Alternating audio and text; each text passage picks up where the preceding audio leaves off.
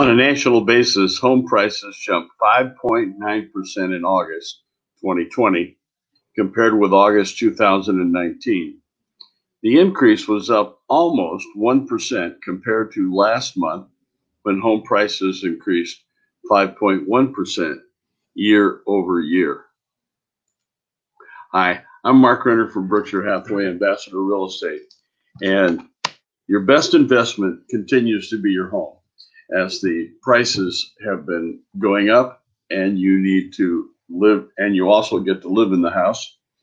Um, this is just terrific. Consumer home purchasing power has stayed strong due to a record low mortgage rates, despite continuing pressures caused by the coronavirus pandemic. Sales have been great. Meanwhile, the listing inventory has continued to dwindle 17% in August year over year. Uh, this has created a buyer and demand situation. This has created upward pressure on home as buyers compete for the limited supply of homes.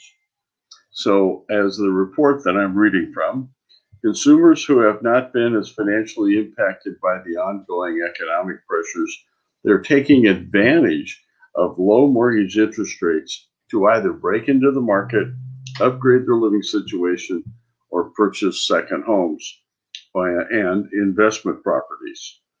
So, with heightening demand putting a strain on the market for for sale inventory, strong demand should help spur new home building activity. And it has been, as I read from that national report. My uh, contact information is streaming below.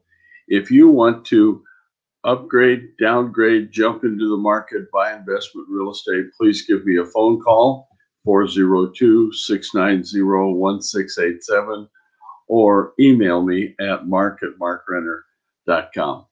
I appreciate you watching and have a nice day and please be safe.